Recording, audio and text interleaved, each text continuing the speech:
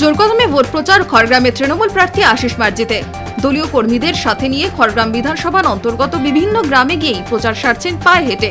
পথে প্রচারে বাড়ি বাড়ি গিয়ে এলাকায় ঘুরে ভোটের আবেদন জানাচ্ছেন। বাজনা সহযোগে গ্রামের পথে প্রার্থী প্রচার শুরু হয় শুক্রবার সকাল থেকেই। প্রার্থীর সাথে প্রচার পর্বে উচ্ছ্বসিত দলীয় কর্মীরাও আগামী উনত্রিশে এপ্রিলে বিধানসভা কেন্দ্রে ভোট গ্রহণ। রেজিনগর বিধানসভার কাশীপুর অঞ্চলে পথে প্রচারে সংযুক্ত মোর্চা সমর্থিত কংগ্রেস প্রার্থী কাফিরুদ্দিন শেখ। বাম ও কংগ্রেস কর্মীদের সাথে প্রচার সারলেন শুক্রবার সকালে। সকাল থেকেই বিভিন্ন এলাকায় ঘুরে পথে প্রচার চলে জোরদার।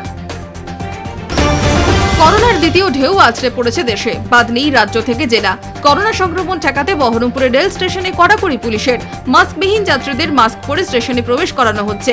মাইকিং এর মাধ্যমেও চলছে স্বাস্থ্যবিধি মেনে চলার আবেদন। মাস্ক না পরে প্ল্যাটফর্মে প্রবেশের নিষেধাজ্ঞা রয়েছে। কড়া নজরদারি রেল পুলিশের। যাত্রীদের সচেতনতায় স্টেশন চত্বরে চলছে নজরদারি।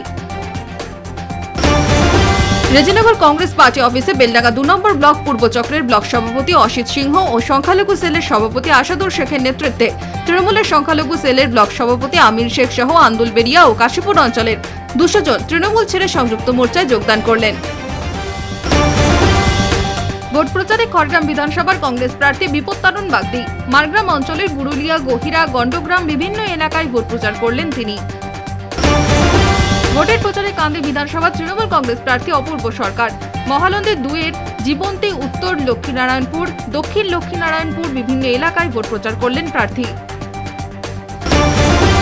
জলঙ্গি বিধানসভার নির্দল প্রার্থী সৈয়দ রফিকা সুলতানার ভোট প্রচার ও পথসভা অনুষ্ঠিত হল দেবীপুর বাজারে। পথসভায় নির্দল প্রার্থীর হাত ধরে বিভিন্ন দল থেকে প্রায় শতাধিক কর্মী নির্দলে যোগদান করেন বলে দাবি করা হয়। শুক্রবার সকাল থেকেই নওদা বিধানসভার পাতিকাবাড়ি এলাকায় প্রচারে বিজেপি প্রার্থী অনুপম মণ্ডল। এদিন দলীয় কর্মীদের সাথে নিয়ে বাজার, এলাকা ও দোকানে গিয়ে ব্যবসায়ীদের সাথে কথা বলেন। এর পাশাপাশি এলাকার বাড়িতে বাড়িতে গিয়েও ভোট প্রচার করতে দেখা যায় বিজেপি প্রার্থী অনুপম মণ্ডলকে।